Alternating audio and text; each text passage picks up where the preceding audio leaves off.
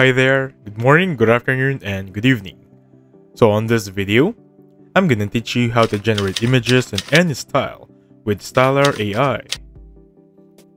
And right now, as you can see, we are currently inside the Stylar AI landing page. So this is what you should be seeing also on your end. Now the things you're gonna see right here are some products from different creators. To get started with this one, simply click on new project and I'll see you once inside. So once inside, you're gonna be asked what kinds of aspect ratio we're going with. I'm gonna go with 1 by 1 and I'm gonna name this one sample project. Something like that. Then click on apply. And now with this one, we're gonna have a lot of options on the left side. For example, we can import images, we can text to image or image to image, generative fill, generative expand, face swap, face repair, and enhance. But please do take note, we only have 200 tokens to work with. And this resets the next day, which is gonna be, I think, 21st? Anyway, with this one, I start with text to image. So I'm gonna start with no style to see the difference with this one. So I'm gonna write a prompt, a dog, standing, near the beach, smiling. Something like that. Let me just type in or spell smiling properly. So with the advanced options, you can enter some negative prompt, but for now, I'm gonna leave it as it is, no style, and click on Stylarize. So I'm gonna get back to you once it's here. So right now we have four results for the text to image. Basically this one is the first one, next, fourth, and third. So if I click on each one of them, I can place them the Canva.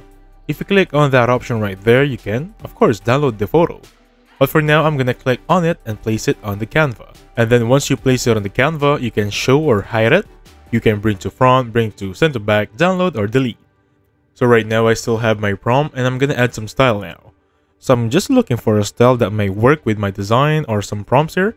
I think I'm gonna go with this one. Psychedelic illustrations. If I click on it right now, I'm gonna have a style intensity. So you might ask me what is style intensity? Basically, style intensity adjusts how strong the chosen style is presented in the result. By default, the recommended one is 0.6, so I'm gonna make sure this is gonna be around 0.6, and basically click on Stylarize. So this will take around a minute or two. I'll get back to you once it's here. So welcome back to the video. Right now, here's our result right now, and if I just hover my mouse, I can have that option to enable and disable the result. So comparing the two right here, I think this third one is the closest we have. So if I double click on it, I can place it on the Canva. And going back on the Canva, this is the option that I was talking earlier, the eye, the show and hide. So if I click in it, I can directly compare the two. I think this is the most similar I can have between the original photo. So how about this one? Let's explore some more styles. So I'm just gonna choose this one right here and choose a different style. I'm gonna go with this one right now. How about this one? Cute 3D. If I click in it right now, make sure this is enabled. So basically, I'm still using the original photo as a reference regarding my new style. Because if I click on the new result, it will take the new style that I choose the Qt3V and envelop it or develop it in the third or second design I have, which is a bit stretch regarding our target here. So we're just having fun with the designs here or style and I click on Stylarize. So welcome back to the video. Right now here are the results, we have 4, and out of the 4, I think I'm gonna call this one as the nearest one we have. Disregarding the background of course, because this is still a Pixar, so they added a little bit more finesse in the background. So how about we include a style of our own? If I click on the styles and click on my styles right this one, I'm to create a style or basically upload an image as a reference. So I have a video here or a photo that we can use as a reference. I'm just gonna look for it right now. So again guys, before I click on Stylarize, I just want to make sure, I want to show you guys how it looks like. So this is the one we're targeting, a dragon, in a bit of a Chinese Japanese style um, portrait. I'm gonna click on it right now. Still, I'm not gonna use or I'm gonna retain my prompt and I'm gonna make sure my style intensity is by 6. I'm gonna click on Stylarize right now so I'm just not gonna skip this video because I want to show you what if I click on this one as 0 and then one more example so I'm gonna load them up all the time. I'm gonna click on this one as the strongest. So right now I have 3 pending and I'm gonna get back to you once they're all here. So welcome back to the video. Right now I have three results here, one of which is around 6 intensity, and the other one is 0 intensity. And for the last one, of course, I have right here 100% intensity or 1 intensity. So to compare it, this is going to be the 100% or 1 intensity. This is the 0. It's much like a different Zogger entirely. And of course, we have the perfect blend.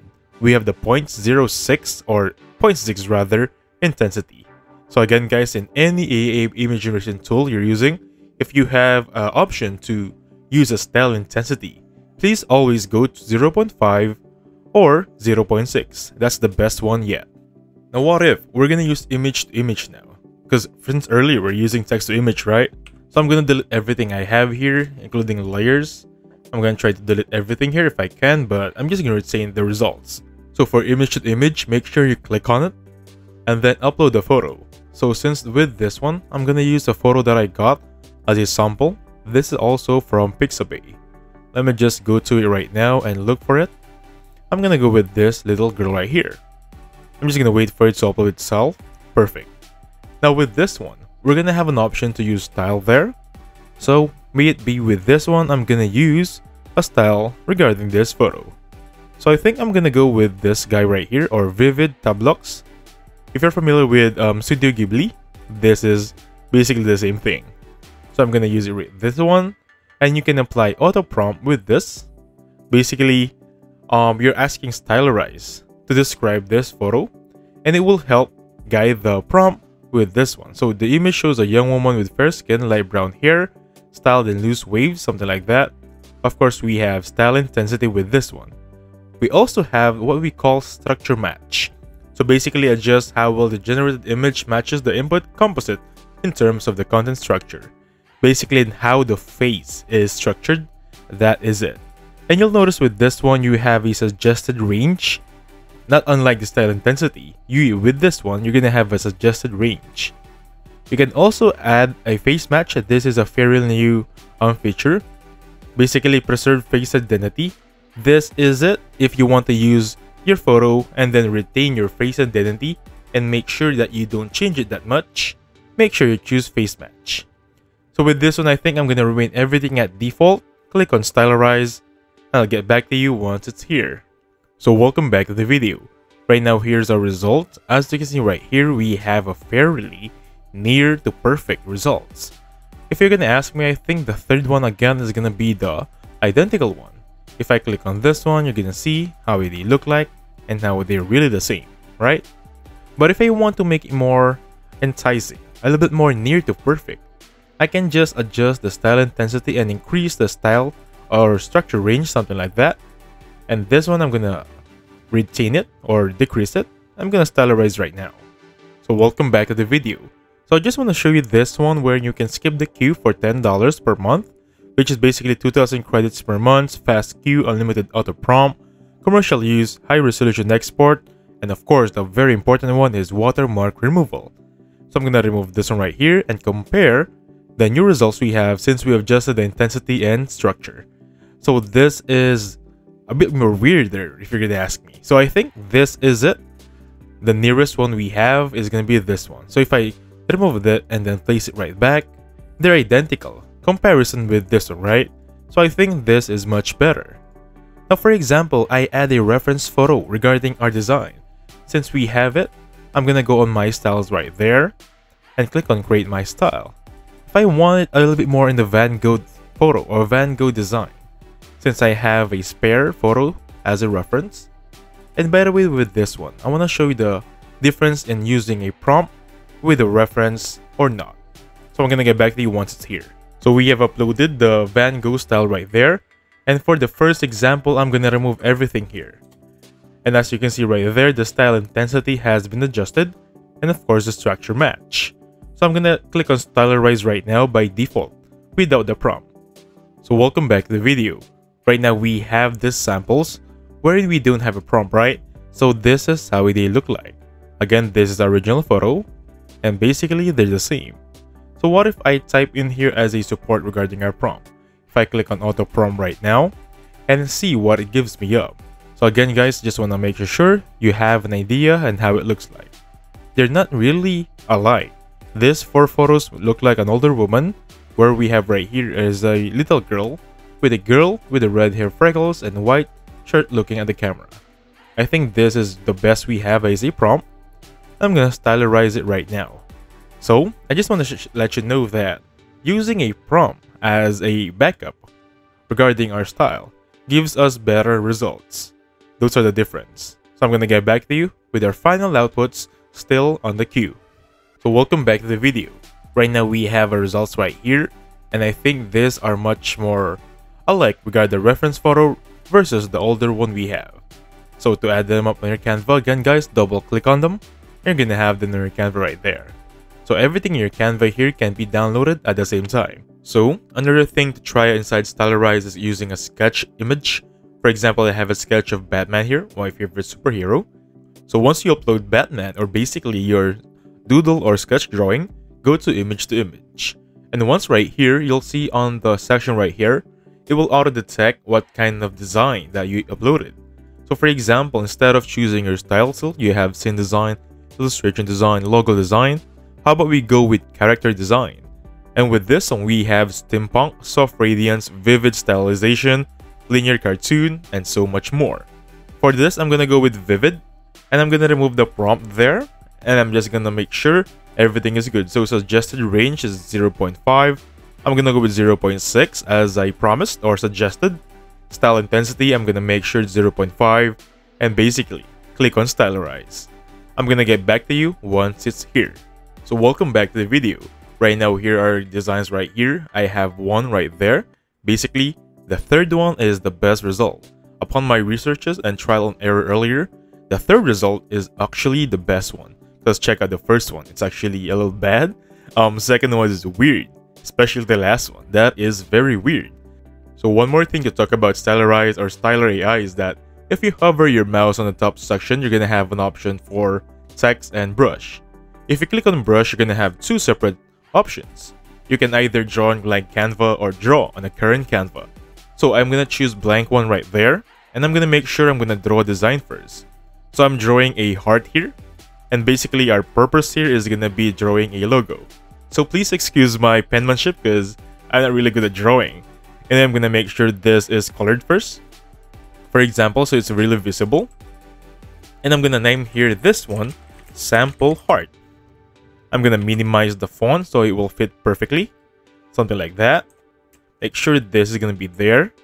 And I'm gonna change the font size and font style on this option right here. Now, for example, this is good enough for me. Of course, this is now gonna be an image, right? So what more else to do? Of course, go to image to image. Without doing anything, without typing a prompt. Simply choose a design. And of course, go to logo design right there. If I choose one design right there, click on stylize. I'm just gonna wait for it to finish. And by the way guys, as suggested, always go for 0.6 um, metrics right there, either for structure match and style intensity. So I'm gonna get back to you once it's here. So welcome back to the video. So based on our basic example, it's pretty simple. So we're gonna have our results right here. So I think the second one right now is pretty good because the third one just really captured my design. So the second one right there for me is good enough. So if I double click on it, I'm gonna have it on my Canva. Now for example, you don't want to draw. If you're like me, you don't have any skills in drawing, you can simply remove everything, like that, and then you can just click on it, draw on blank Canva or draw on current Canva. Or, you can just simply upload a logo. For example, I think I still have a logo here somewhere. There we have it. So simply upload the logo, make sure it's gonna fit to your screen, perfectly right there, and then basically, choose a logo design. Think of it as a reference photo or reference logo in this manner. So with this one, I'm just gonna choose the same design, Stylize Fortuna or Stylize Fauna. And with this one, I'm gonna click on Stylize right now. And I'm gonna get back to you once it's here. So welcome back to the video. Right now I have 4 results here, one of which is actually good, and I think the last one is good here now. Again, double click on it to go to your layers so you can really compare it. And basically that's it. By the way, I have a video on how to fully utilize Stylize or Stylar AI. Please check it out. Anyway, with this one, I think we're good enough here regarding the basics on how to use different styles in Stylirise. So you can use a different, for example, you can have different photos, you can have different styles here. So please check them all out. Don't let this be your um, constraint regarding the one I use here. So again guys, feel free to use everything here. And that being said, thank you so much for watching. Please hit the like button subscribe. I'll catch you guys on the next one. Goodbye for now.